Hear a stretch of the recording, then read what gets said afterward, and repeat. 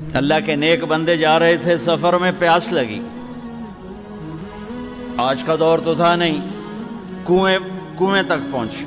नीचे देखा तो पानी बहुत नीचे तो उन्होंने अपनी पगड़ी उतारी और जूते को उसके साथ बांधा और नीचे लटकाया तो पानी तक जूता पहुँच नहीं सका तो परेशान होकर बैठ गए।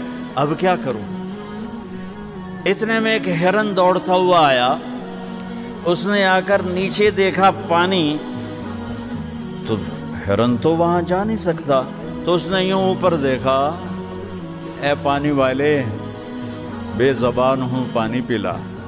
तो पानी उबलता हुआ ऊपर उठा और मंडेर के आके बराबर लग गया। हिरन ने पानी पिया। हिरन की तो फैल इस इंसान ने पिया। हिरन पीछे मुड़ा पानी नीचे गया। तो उसके मुँह से बेसाख्ता निकला कि मैं इंसान, मेरे लिए तो पानी ऊपर नहीं आया और ये जानवर के लिए ऊपर आया।